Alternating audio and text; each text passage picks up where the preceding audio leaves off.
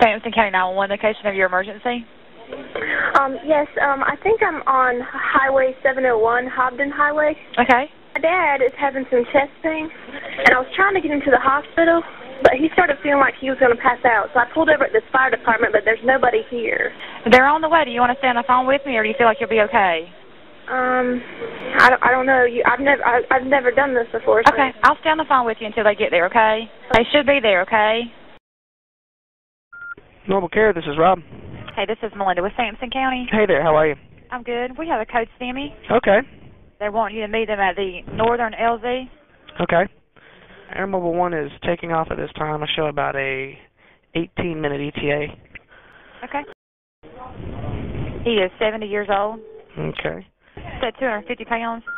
250 pounds. hmm He's saying M-A-N. Man. Dr. Mann. All right, cool, thank you.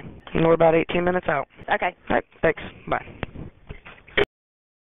Cath Lab, this is Kim. Hey, Kim, this is Rob with Mobile Care. How are you? Good.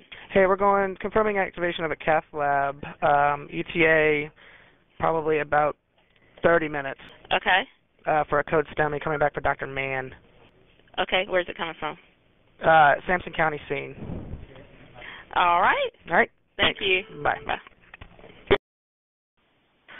Roger, number one, skid down, Spivey's corner, 1341. Yeah, sir, patient update, 70-year-old male patient, inferior MI, ST elevation in leads 2, 3, and AVF. Midtown Air Mobile 1. Air Mobile 1. Beacon log is off this time, en route 18 minutes. We currently have four personnel on board and one hour of fuel.